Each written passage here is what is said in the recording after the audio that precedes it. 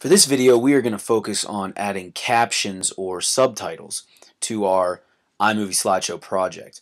So here I am back in the project library. So I'm going to click back on my Achilles project because that's what I'm working with. And this is going to be similar to how we created our title slide. So what I need to do is, you know, figure out which one of these I would like to add some text to. Now you might want to add text to a particular slide or image just to give your viewers some context as to what they're looking at or maybe emphasize a key point, whatever that might be. So uh, again, I want to come down to where my browsers are and I'm going to click on the T for the titles browser. Again, this is the same thing that we used when we created our title slide. So I look through my titles browser and see which one of these I would like uh, to use for creating a caption.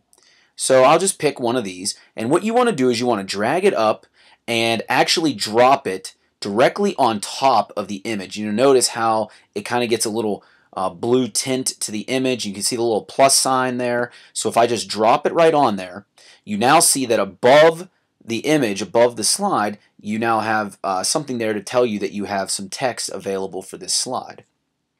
How I add the text is I uh, come over here to the right and I can type directly into uh, the image and write into the text. So here uh, it offers like a title text and then a subtitle underneath. That's just the, the template that I use. There's lots of different ones uh, in the menu to choose, but I can simply type, uh, and if you click it'll highlight.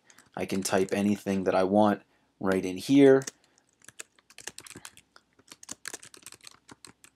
And there it is. If you want to see what it would look like, again, remember you can come up here and hit the space bar and you can get a preview and it shows you exactly what that would look like.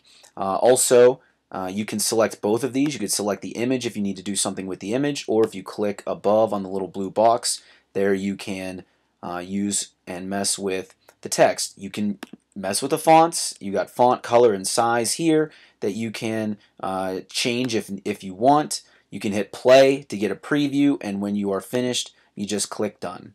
Then you can go to another image and say for instance you would like to give this image some context and I can pick you know alright I'll pick a different one for this one.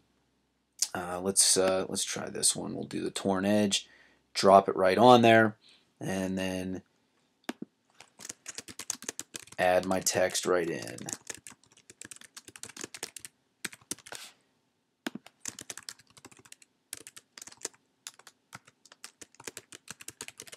And there we have it say done when I'm done and you can see that that text is going to show up in those particular images. So that's how we add subtitles or add captions.